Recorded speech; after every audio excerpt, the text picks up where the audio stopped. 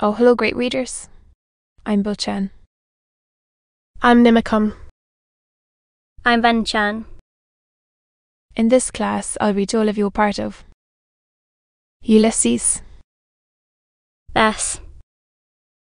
L. Ulysses, James Joyce, To, 10 sec 16, 29 Windsor Avenue. Love is the name? That's right. Cowley said. The Reverend Mr. Love. He's a minister in the country somewhere. But are you sure of that? You can tell Barabbas from me. Ben Dollard said. That he can put that but where Jacko put the nuts. He led Father Kelly boldly forward. Link to his book. Full boats, I believe they were. Mr. Dedalus said, as he dropped his glasses on his coat front, following them. The youngster will be all right. Martin Cunningham said, as they passed out of the castle yard gate. The policeman touched his forehead. God bless you. Martin Cunningham said, Surely. He signed to the waiting Jervy who tracked at the reins and set on towards Edward Street. Bronze by Gold. Miss Kennedy's head by Douce's head. Appeared above the crust of the Ormond Hotel. Yes. Martin Cunningham said, fingering his beard. I wrote to Father Conmee and laid the whole case before him. You could try our friend. Mr. Power suggested backward. Bide. Martin Cunningham said shortly.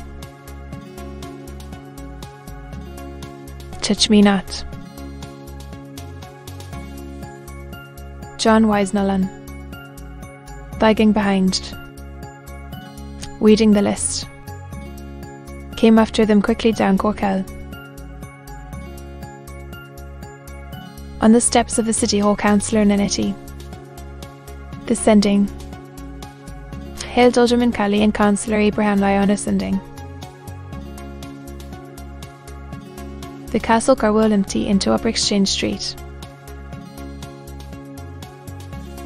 Look here. Martin.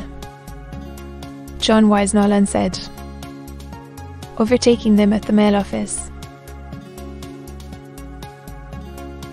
I see Bloom put his name down for five shillings. Quite right. Martin Cunningham said, taking the list. And put down the five shillings too. Without a second word either, Mr. Power said, Strange but true. Martin Cunningham added. John Wyse Nolan opened wide eyes.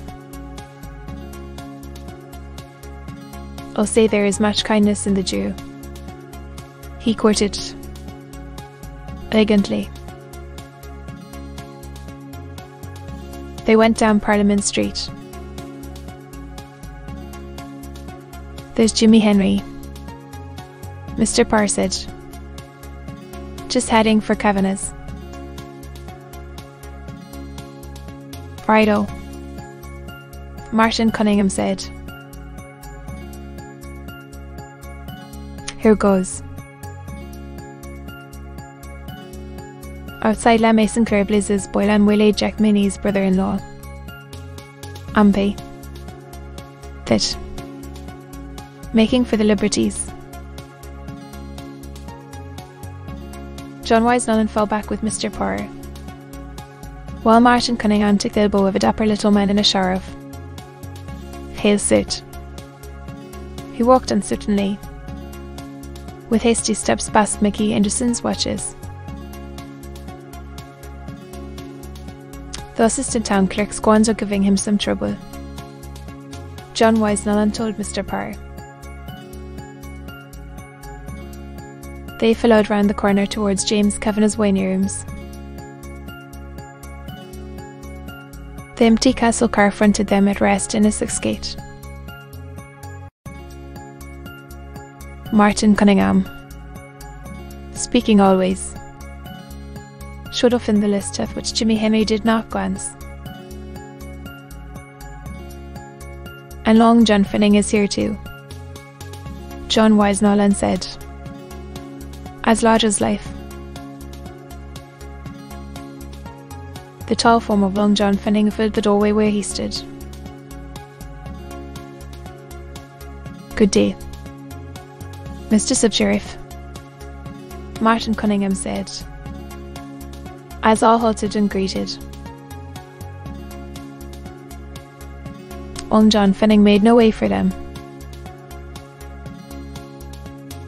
He removed his large Henry clay decisively and his large ferris eyes scowled intelligently over all their faces. Are the conscript fathers pursuing their peaceful deliberations? He said with rejected utterance to the assistant town clerk. Hell open to Christians they were having. Jimmy Henry said bitchly. About their damned Irish language. Where was the Marshal? He wanted to know. To keep order in the council chamber. An old barrel of the Mispur laid up with Isma. No mace on the table. Nothing in order. No quorum even. Anne Hutchinson. The Lord Mayor. In Llandudno little Lorcan Sherlock doing locum tenens for him. damned Irish language. Language of our forefathers. Long John Fanning blew a plume of smoke from his lips. Martin Cunningham spoke by turns, twirling the peak of his beard.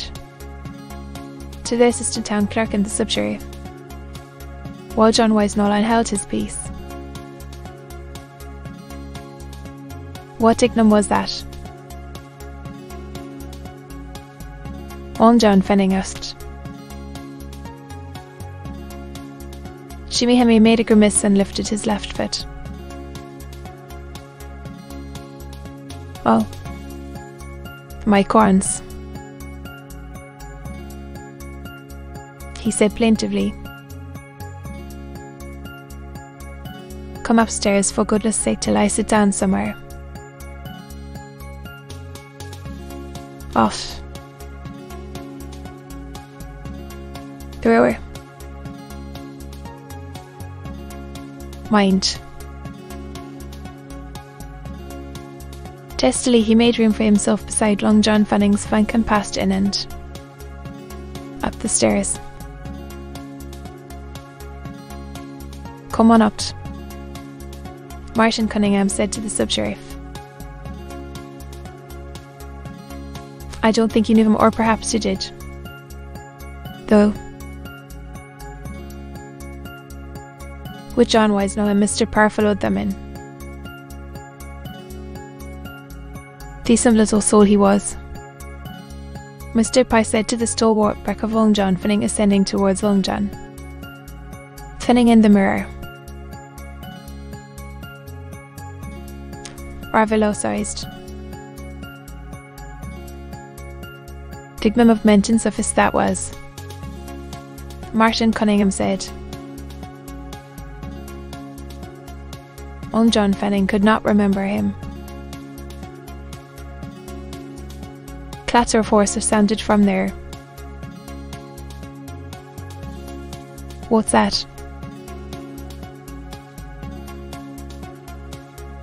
Be continued.